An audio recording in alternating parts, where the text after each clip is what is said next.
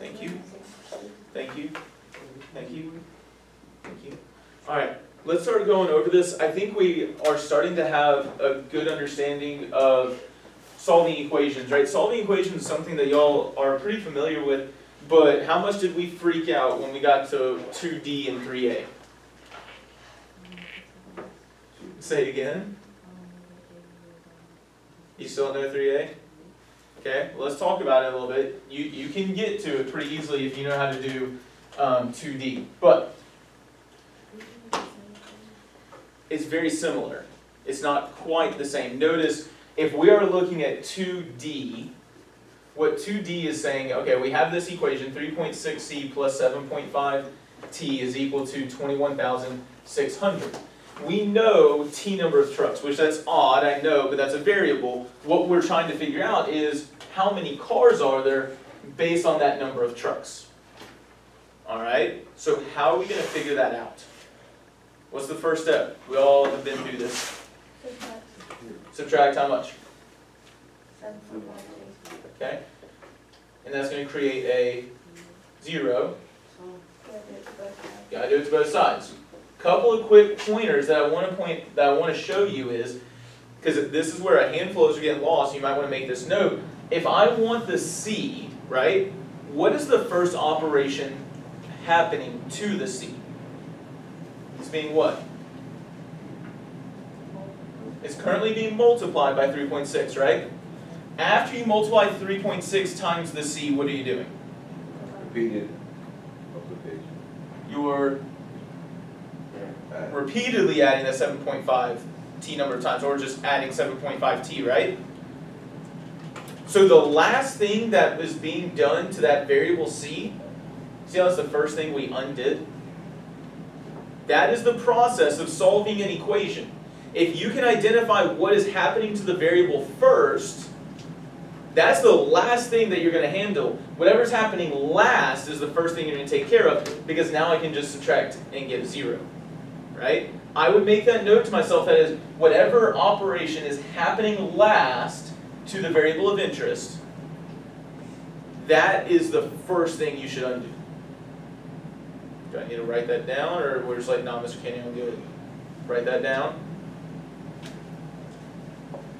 The last operation um, applied to the variable of interest.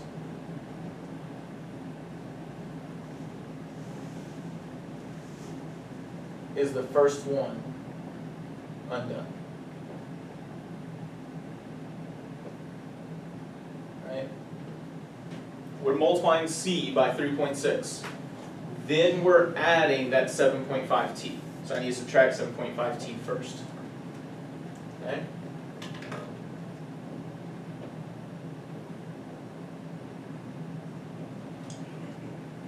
Okay, have I figured out how many cars it is yet?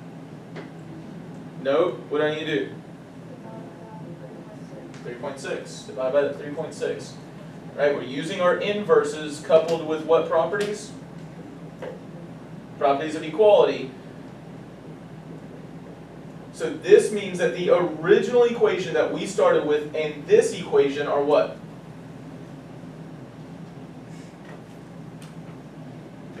This equation and the one we started with are what? Mm-hmm. Equivalent. Do they look different? Heck yeah. But are these telling the same story? Yes. The point of this is, notice on A, B, and C, how you had to substitute into this equation and go through all the work of solving every single time, right? Would you have to solve here, or could you just simplify?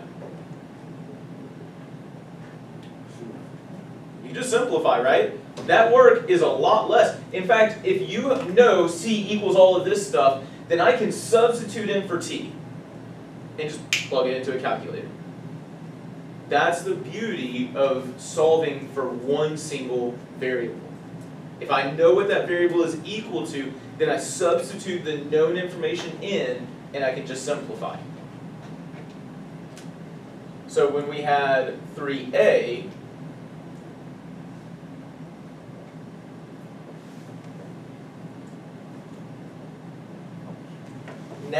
we're saying is, we know how many cars, we wanna figure out how many trucks, right?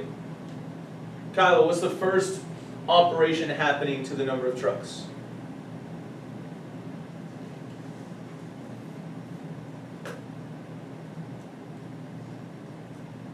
Oh, what's with the number, the T, the trucks?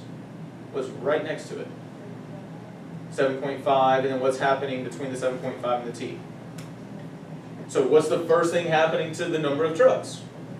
By? Right?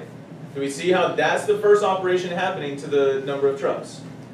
Now, this is the one tricky part. Don't forget this is a plus. It's an understood positive here. So after we multiply seven and a half times the number of trucks, what's happening to that expression? The only other thing there is repeatedly adding that three point six, C number of times, we're just adding three point six C, right? So what is the first thing I need to undo?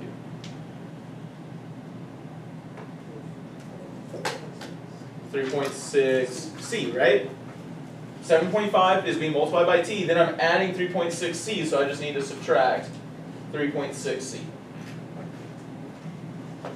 Again, what's three point six C minus three point six C? That's a zero. Seven point five T is equal to twenty-one thousand six hundred minus three point six C. I'm so close to knowing the number of trucks, what's the last step? Say again. Okay, I thought you said something else. And I heard someone over here saying as well, divide by seven point five. That's the inverse of multiplication. And again, the beauty is, what's seven point five divided by seven point five? That's a one, so I'm left with one truck, or one T, the number of trucks, is equal to twenty-one thousand six hundred minus three point six C divided by seven point five. In this case, would you have to solve for the number of trucks every time? No. That is the beauty of solving for an indiv- uh, a single variable. Yeah, that equation looks different than this top one. It looks different than this one over here. But because we use properties of equality, all three of these equations are what? Equivalent, right? They're equivalent. They look different, but they're effectively the same. Yet now, one will be easier than another in order to figure out the question of interest or the variable of interest. This matters, okay? Uh, really quick note before we start working on this next part. Uh, just based on where we are, since today's only Tuesday, we will not have time to get to lesson 20 for the homework to be due on Thursday. Okay? So just lessons 8 and 9 homework will be due on Thursday. The lesson 20 homework will be due on uh, Monday. Why do you say dang like that? Should I do it? What is that right there? Well, this will give you a chance to ask questions, right, to make sure you've done it right, and two, that's just less work for you to do later, right? What were you saying, Lexi? I figured it out. Okay. Sorry if I made something confusing, that's my bad. Okay, so from what I'm seeing, um, actually, what was three B? I didn't even look at that. Use your equation a calculator or a computer to find the number of trucks that can be shipped if the cargo already has a thousand cars. What if the cargo already has forty-two fifty? So what would I need to do here if there's a thousand cars?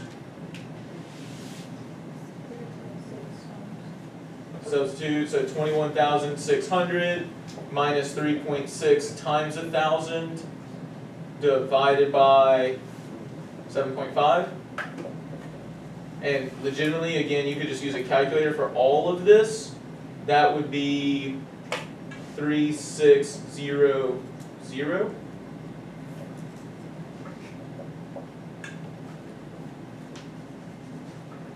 Let me ask you this, is that easier than having to go through all the steps of solving that equation every single time? So especially if you have multiple um, numbers of cars, um, you just need to divide that. But if you have multiple numbers of cars and you're trying to figure out the number of trucks, you want t equals because that'll make your life easier. Instead of having to do it every single time like you had to do for number two. Does that make sense? It's okay to say no, ask questions if not. Doesn't make sense? What doesn't make sense? Huh? None of it? When you say none of it, like you don't know how to solve this equation? So do you, you don't understand why we want this?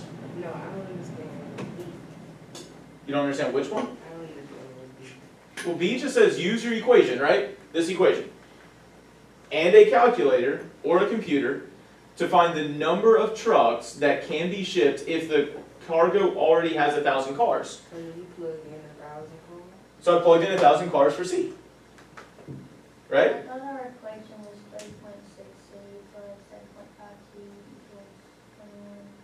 It is. 3.6C plus 7.5T is equal to 21,600. But isn't this equation that you created right here equivalent?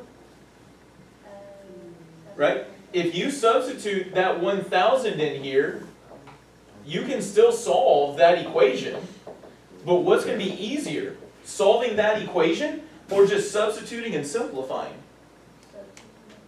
That's the whole point. And so I'm glad you asked that question. Be, please ask the questions, right? Because I, I apparently was not clear about that. The whole point is that I know the number of cars, that's my input, my independent variable. I want to get the number of trucks. It's going to be way easier to have this equation substitute and simplify rather than have to substitute and solve again. Does that clarify it for everybody? Shannon, you go with that now? Okay. Ask those questions. I'm more than happy to answer them. Twenty-four hundred. Huh? Twenty-four hundred. Twenty-four hundred, thank you, sir. So the number of trucks is twenty-four hundred.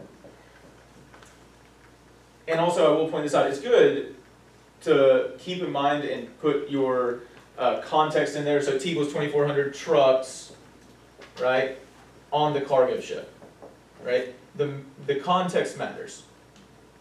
I apologize for not doing that before, but take that extra second, right? Go, one, show your work, I think that's one of the things that's getting us um, messed up. If you had shown your work every single time on A, B, and C for number two, that would have helped you on D for number two, right? Okay? Um, so that's something to be aware of, and then T equals twenty-four hundred trucks on the cargo ship. Alright, really quickly, um, we are running out of time and we are behind for sure. So I'm gonna ask you to do one thing tonight off of this, alright? So remember, lessons eight and nine are the only things due on Thursday. So I'm going to ask you to do this, and I'm going to check tomorrow. You just have to have attempted it. You don't have to have it right, but I need you to attempt this number one. Right? The Department of Streets of a city has a budget of one million nine hundred and sixty-two thousand eight hundred dollars for resurfacing roads and hiring additional workers this year, guys. I'm about to make some quick notes that might help you with this. I would probably keep my stuff out. Uh, so the cost of resurfacing a mile of two-lane road is estimated at eighty-four thousand dollars. The average starting salary of a worker in the department is thirty-six thousand dollars a year. And so it asks us to write an equation that represents the relationship between the miles of two-lane roads the department could resurface, M, and the number of new workers it could hire, P, if it spends the entire budget. So if we do one mile of two-lane road, how much money are they gonna spend? How much? Eighty-four thousand. If they do a second mile, how much are they gonna spend? Eighty-four thousand. If they do a third mile, they're gonna spend how much?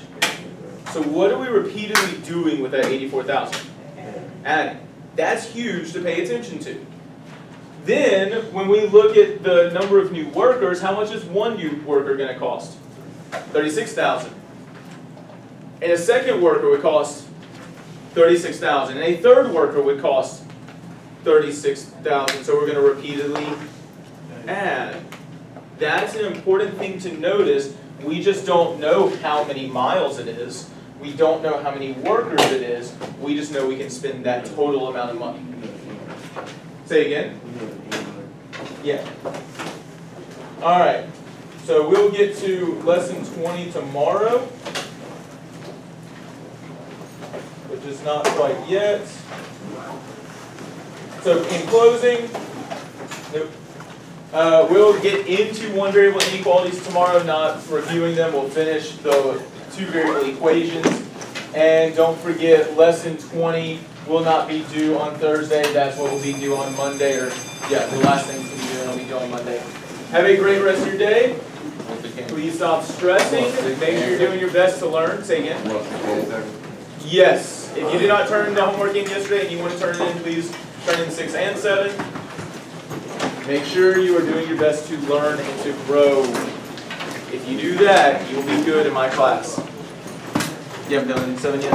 Okay. If you can get it to me today, maybe after enrichment, you can still